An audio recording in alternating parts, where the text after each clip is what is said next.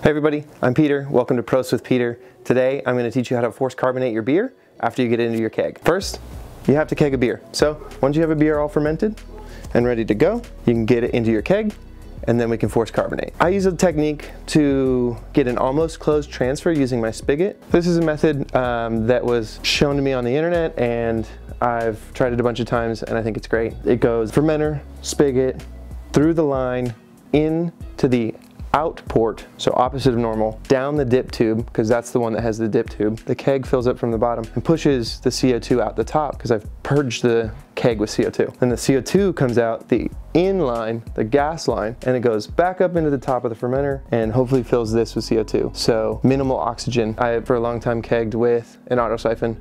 Those are fine. Or regular siphon, you don't even need an auto siphon. Whatever you need to do, get your beer from your fermenter into your keg with as little oxygen as possible and then when you're done, purge out with CO2 by connecting the CO2 container to the gas line and just opening the PRV. You just burst open the PRV five to 10 times, whatever you feel comfortable with. It's probably not gonna be perfect, but it's probably gonna get you very close to as little oxygen as possible. So once that's done, I'll show you how we force carb. One thing to note is that if you've cold crashed your beer, which I haven't here, this will happen differently. I do recommend cold crashing and it makes carbonation go faster. The colder a liquid is, the more CO2 can, I forget the word, go into the beer, become part of the liquid. The colder the liquid, the better the CO2 dissolves into the, into the beer. So having cold crash already, this will go even a little bit faster, but it should work just fine even at 50, 60 degrees. If you're much hotter than that, you might need to take a little bit of time for the beer to cool down in your kegerator before this will work very well. I have made a mess. Went a little overboard with the tape. Peter will do this later while we're not waiting to film. Okay, so now since you know how to use a screwdriver, you just turn this up to 40. So I like to make sure that it is settled at 40. So once I reach 40 on the pressure gauge, I just do a couple big boy purges at 40, 40 PSI. Always sanitize everything. Now, oh, I bring this big heavy thing up and I lay it on my knees like this with, come, come close, come close. The gas port is on the bottom side so that it is forced up through the liquid and I tilt my knees so that this end's real high. Well, just a bit higher. I'm not like crazy. But then we get flow from the bottom through the top.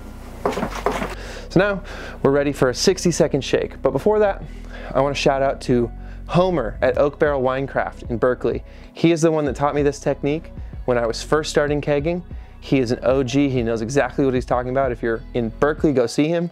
He's the best, and I've been doing this technique ever since he taught it to me, and I always end up with really great carbonated beer. So thank you, Homer.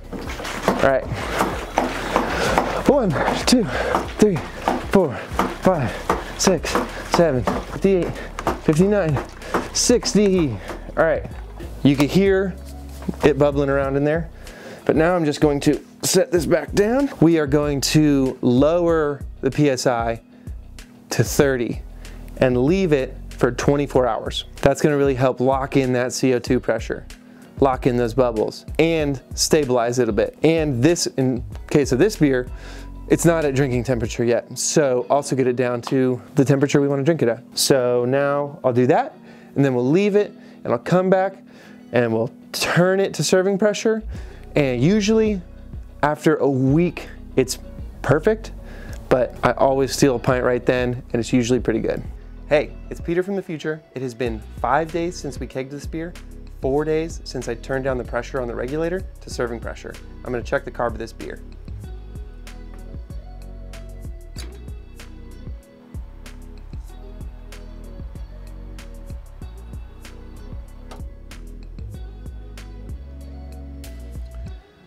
It looks like it's nicely carbonated, got a good head on there. It seems really fluffy, really nice and rocky and even. I mean, it smells great, but that's not due to the carbonation. Super well carbonated. I think it'll get better from here, but this is definitely something I'd be ready and willing to serve. Uh, I think this is a really, really good beer and I'm very impressed with it and stoked on how it turned out, part of which is due to the carbonation. Keep an eye out for the brew day of this beer. It is something fun and experimental and if it is out already, it'll be at the end of the video. So click the link there to check out how this beer got brewed.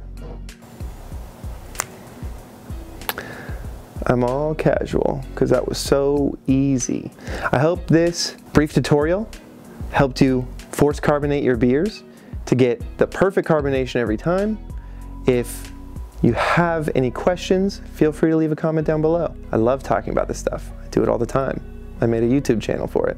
So reach out to me. If you want to see me do some brew days, click the link somewhere. I don't know where they go yet. There's going to be a link to a cool brew day. Put it right here and click it and enjoy it and check out Prost with Peter for more on beer and brewing. Prost.